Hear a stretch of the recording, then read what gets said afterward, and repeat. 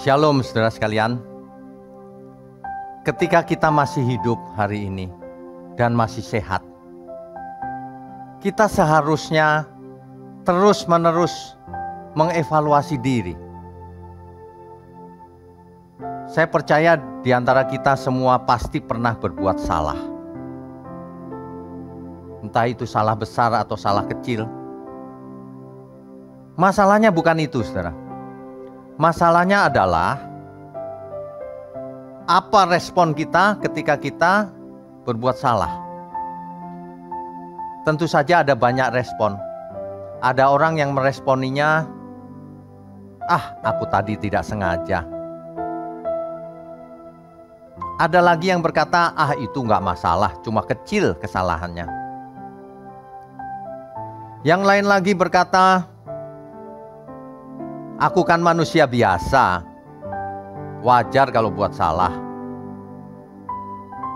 Tetapi saudara, respon kita ini akan berakibat pada masa depan. Orang-orang yang tidak memandang serius kesalahannya itu akan mengulang lagi di masa depan. Itu yang jadi masalah. Seharusnya kalau kita orang benar, sekecil apa pun salah kita, kita akan merasa terganggu. Kita akan merasa sangat terganggu. Kenapa aku masih buat salah ya Tuhan? Aku tidak mau buat salah dalam hal apa pun. Harusnya demikian loh saudara. Bahkan Rasul Paulus menulis bukan? Di dalam 1 Korintus 10 ayat 31, baik aku makan atau minum atau melakukan sesuatu yang lain, lakukan semuanya untuk kemuliaan Tuhan. Artinya kalau kita buat salah, bertobat dan jangan buat lagi.